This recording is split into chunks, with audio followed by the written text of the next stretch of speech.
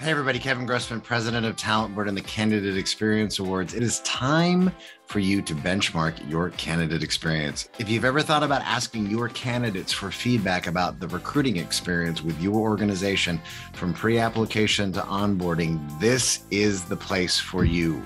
This is an anonymous and confidential benchmarking program for you, the employer, as well as for your candidates. You can capture data and analyze your strengths and weaknesses of your recruiting and hiring process and perception gaps through the eyes of your job candidates, external as well as internal. The program is open to companies big and small across industries. And while there is no deadline to start, there is a deadline to finish all the surveys, and that's August 31st of this year, 2022. So, whether you're hiring in North America, EMEA, APAC, or Latin America, you can participate in one or all of the regions in our annual benchmarking research program.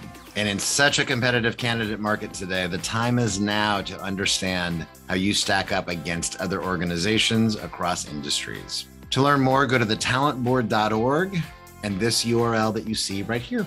Thank you and be safe and well.